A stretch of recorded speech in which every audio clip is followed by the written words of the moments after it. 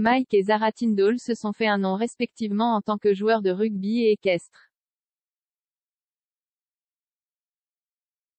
En 2003, Mike faisait partie de l'équipe gagnante de la Coupe du monde de rugby Union England, tandis que la fille de la princesse Anne a remporté la médaille d'argent aux Jeux olympiques de Londres en 2012. Le dernier article des opinions du correspondant royal et auteur Omid Scobie a été critiqué par de nombreux observateurs royaux et utilisateurs de Twitter. Dans la chronique de cette semaine pour Yahoo!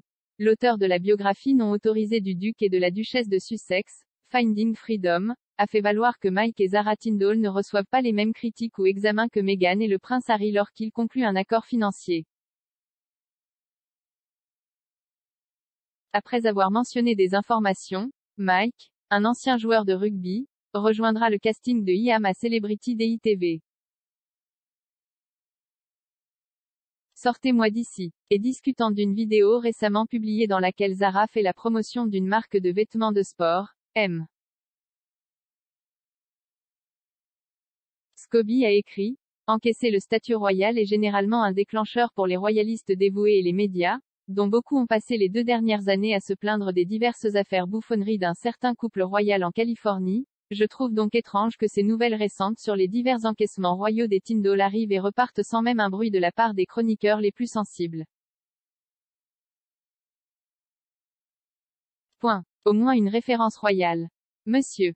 Scobie a également déclaré que, bien que les accords des Tyndalls aient même été célébrés dans les médias et par les observateurs royaux, les accords financiers conclus par Meghan et le prince Harry ont fait l'objet d'un examen minutieux au cours des deux dernières années, malgré le fait que le duc et la duchesse de Sussex ont démissionné en tant que membres actifs du cabinet au printemps 2020, une différence qui, selon lui, se résume à une indignation sélective.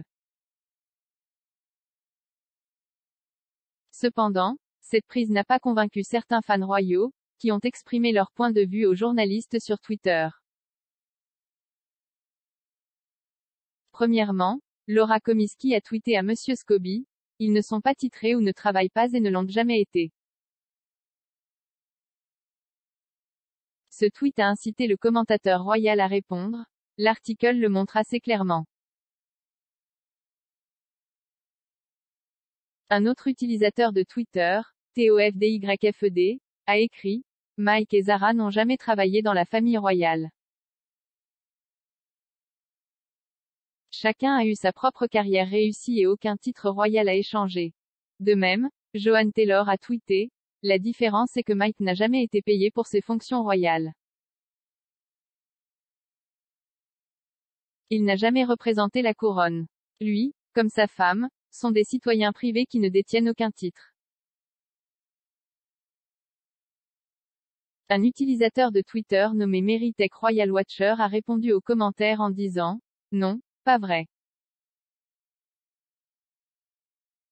La princesse Anne a choisi de ne pas recevoir de titres royaux pour ses enfants afin qu'ils puissent mener une vie normale. Un autre observateur royal, dont le compte Twitter est storiesbygmail, a demandé à M. Scobie. Posez-vous une question simple. Mike et Zara représentent-ils la couronne? Deuxième question. Détiennent-ils des titres royaux? Parlez. D'autres ont souligné que Zara et Mike se sont fait un nom pour leur mérite sportif, ce que M. Scobie mentionne dans son article de commentaire, avec l'utilisateur de Twitter Kathleen McGovern, faisant référence à la possible apparition de Mike dans l'émission de télé-réalité DITV, écrivant Mike Tyndall est un ancien joueur de rugby anglais et a le droit de concourir selon ses propres mérites. Combien d'anciennes stars du sport ont été là-bas? Alors que M. Scobie a été frappé par le contre-coup d'un certain nombre d'utilisateurs de médias sociaux à la suite de ce commentaire, d'autres ont souscrit à son point de vue et ont loué son article. Parmi eux, Dargen-Bas a tweeté, merci Scobie de toujours garder sa réelle. De même, Janem K a applaudi l'auteur royal en disant, oui, Omid Dealer.